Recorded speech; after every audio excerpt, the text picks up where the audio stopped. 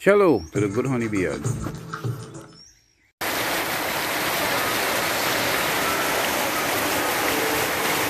Saturday, July 25th, 2020. This is 8.30 a.m. And look at that, with this kind of weather, this heavy rainfall, bees are still coming in. And going out as well.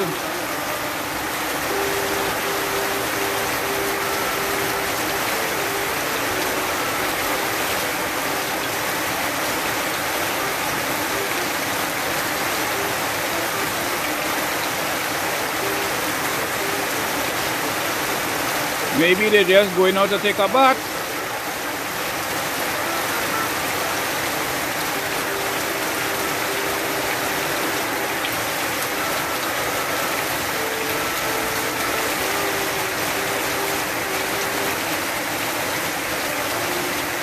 They're watching me, you know.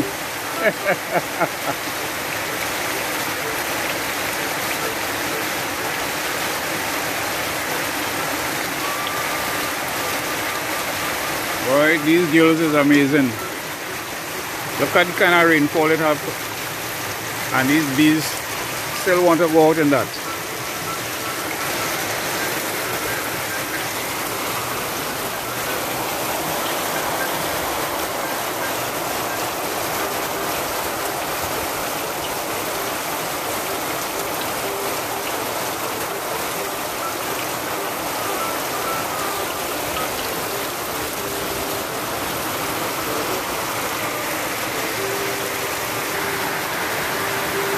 I've come out here to see what the rainfall is like.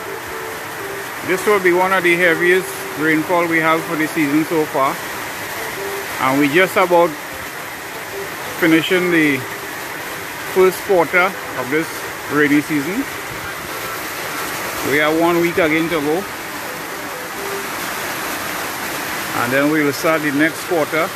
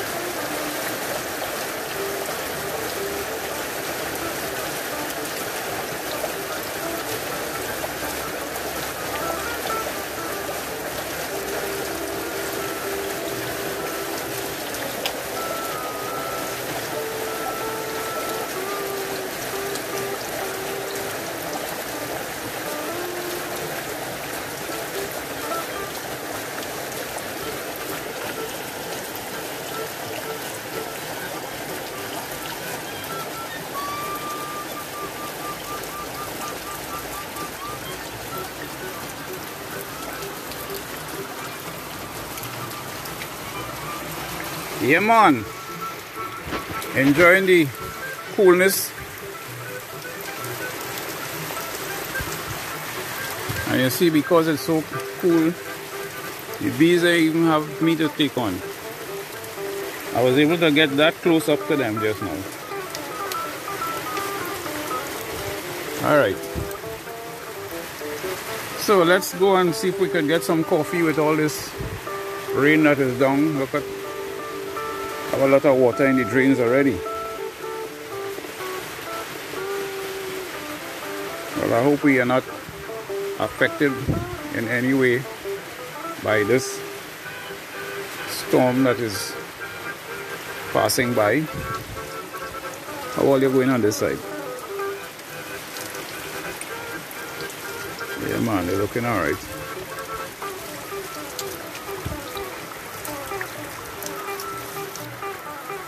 You know, really and truly, having a covering over the, the colonies like this, I'm not saying mine is the, is the best, you know, but I am seeing very good rewards, man. The bees could be out taking care of the entrance board like this.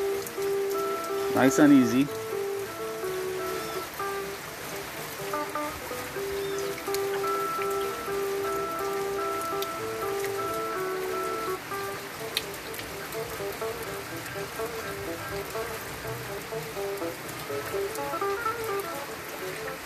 I don't know exactly what they're doing, but they're working like that.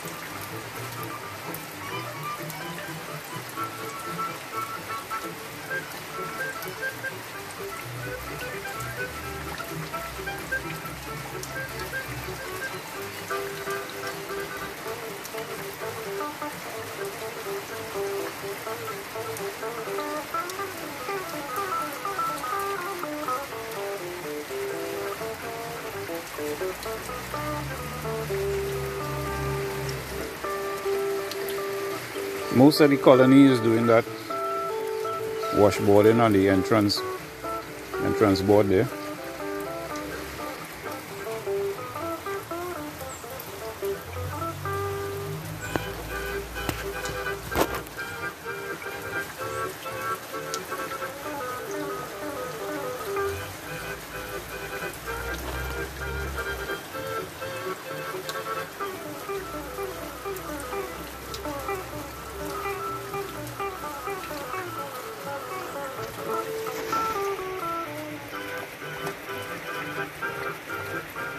Don't do this at home, eh? Gotta take care of these things here. You only get two. So if one get taken out, you'll have one remaining, which might not work as well.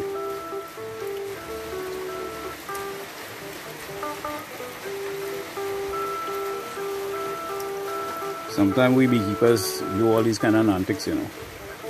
So don't follow me, eh?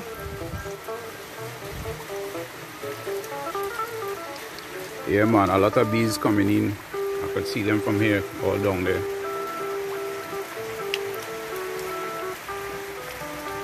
Bees really, really work hard in a way. Amazing. Seeing that I'm here, maybe I could talk a little bit about this these legs. Over the years, I have been putting oil around the legs of the bees. Oh yes, look at it. It's not looking pleasant. It's black and gawky looking. But guess what? It works. Which is better? Looking pretty or looking like this? I prefer this because it works. It keeps my bees alive away from those ants and they keep the colony strong. So what I used to do before let me show you over here. I, I take them out you know. You see these containers here? Right you see the rubber? Right. I used to put the rubber that's the car, car tire rubber the inner tube. Put the rubber inside the container and then put a, a brick you know you get one of those nice strong hard tile or a brick and I will put the the legs inside of it. Because if you notice here I have the car tire. This is the car tire here. So it will absorb any vibration. If you're walking if you have a little tractor and you're moving around now I'm talking about this is because I have Africanized bees you know. If you have gentle bees you know they will tolerate all those kind of behavior. So onto the onto the um the leg I have a foot. You see the foot there? So that it wouldn't just be one little spike sitting down on top of the the car tire. It will have more of a footing so then I have the the inner tube or the tire itself cut off a piece and have it on some tiles. But the tiles is just there to stable the, the whole thing. Because you know the, the, the ground here not level. And uh, I put the sponge to absorb the the old oil. Because when I used to put the old oil inside the containers the bees would come and try to take it out and they will get drowned down inside there and over a period of time it built it is built up with a lot of dead bees and smell very bad. And the bees constantly trying to take that smell out of the way and so more and more bees getting themselves drowned. So I decided to opt to go for this this idea instead. You see this is a piece of foam so I just soak it with the oil. And if I have this bee stand for instance in the open where it don't have a, a covering overhead well then I will need to have this piece of metal sheet on top here so that it wouldn't um, when it, it rain it wouldn't wash away all the oil either from the container or you know from putting the oil around the legs like this so this is the method I use and it is working fantastic. Really really really well. I have no problem with ants at all. I could sleep in the night feeling very assured that ants wouldn't bother me. Now the next thing is the height of the stand is two feet. The the the frogs could only jump jump up to 18 inches. So if you would have seen some of my videos before it had frogs around but they can't get the bees. They have to wait until the the bees die and fall on the ground. Or if it have you know straightaway bees you know in the course of dying you know they, they wouldn't be so strong. They'll be just jumping around on the ground. And the frogs will get them. As well as the lizards. Now I came here last night and was looking around. And what I found was there were some colonies around here which had some dead bees on the ground but no I'm not seeing no dead bees so which means something take it up. Look look at this bee here. So this bee this bee is in its last stage of dying. So it's trying to make him make herself somebody meal know all here had a whole set of, of dead bees on the ground and uh, right now I'm not seeing any more dead bees. So which means the lizards come and get them. Or the must have had some frog. Come and get them early this morning. But at, at 4.15 this morning I didn't see any frogs around. So that's the thing with the bee stand. And of course the overhead covering. And um, you might notice around here too I have these kind of looking things here. You see this? This is very important, you know. This is a, a Portugal, a dried up Portugal.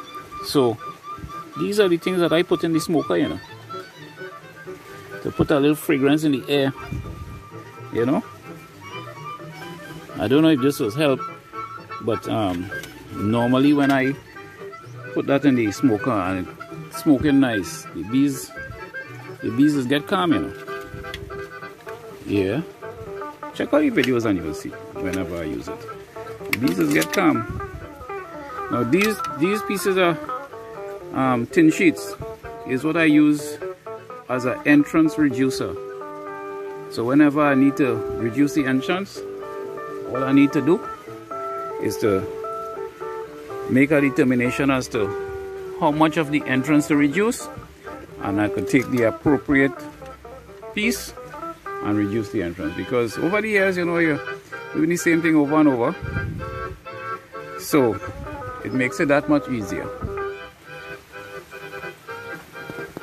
All to the side they seem to be scrubbing and washboarding making sure that rain doesn't bother them but I, I do that ahead of time for them because by doing that it will mean that the bees will find something else to do more constructive more towards um, taking care of their well, you know, all the internal things that they have to do inside the colony. So more I could do for the bees by understanding their behavior is the stronger the bees will be, more honey I will be able to extract. You know, all these kind of goodies. Yeah man. And of course, it's only because the temperature is why I get an away with doing this video like this, you know. The bees would not tolerate me for too long. See how they, they, they're fixing up their back entrance here?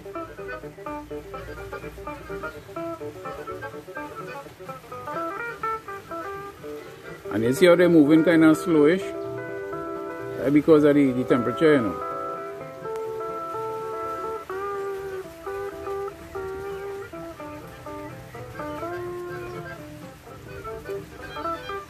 Ah, get out of focus there. Okay.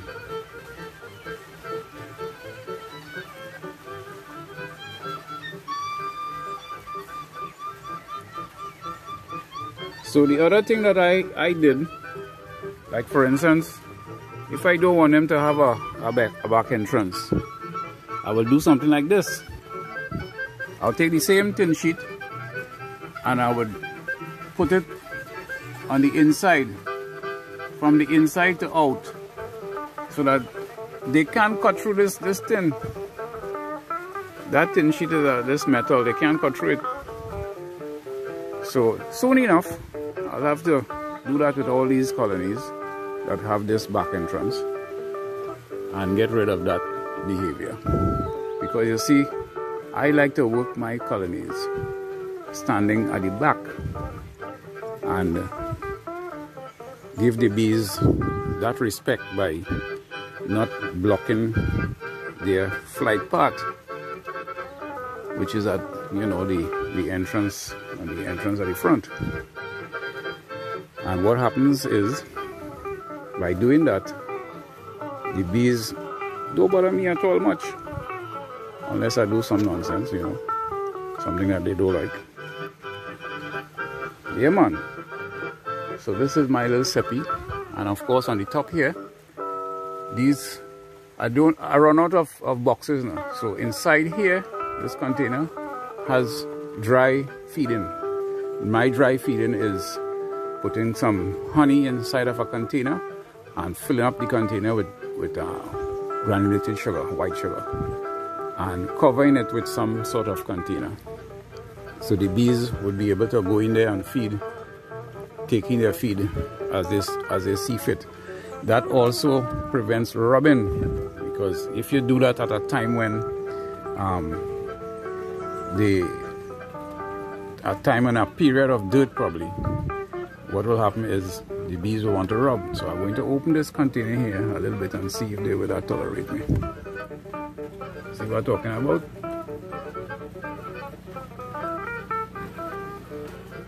So right there is a, just now, eh? Let's see if I can put some light on this. Right there you'll see there's a hole. Right? And they'll come through the hole. And they'll go up. Go inside there. Wow. See, I make them mad. But because of the cold, they still tolerate me. And you see, they're getting inside here and eat up the honey. Eat up the sugar, sorry. Okay. Time to move out. They're flying at me, man. Yeah, like that. I ain't get no sting, you know, but you know you have to respect them, eh? So I will just come back here now and um, put back the, the weight on top. And I hope I ain't crushing no bees. Yes, I did crush a couple of bees there. You see, sometimes you, you try little antics and at the cost of the lives of the bee. Anyhow, you get the you get the idea. I don't say sorry, bees. I didn't really mean to do that, but maybe by talking, they get a whiff of my breath. Bees don't like human breath, you know. No matter how you try to mask it. They don't like human breath at all. And then, of course, to the light in the camera. There will be somewhere in my, sleeve here, you know. I could hear me cussing, but he vexed.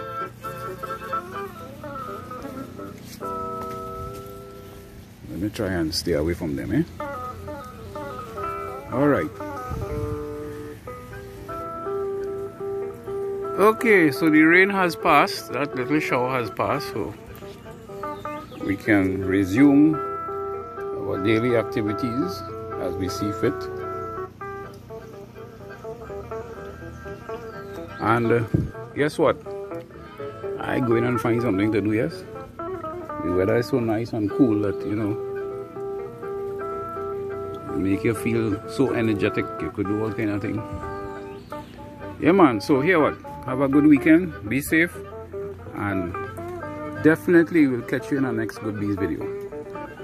This is, I am Hans T. Yeman coming to you direct from the Caribbean island of Trinidad. Yeah, man. TTFN. Thanks for watching. Bye for now.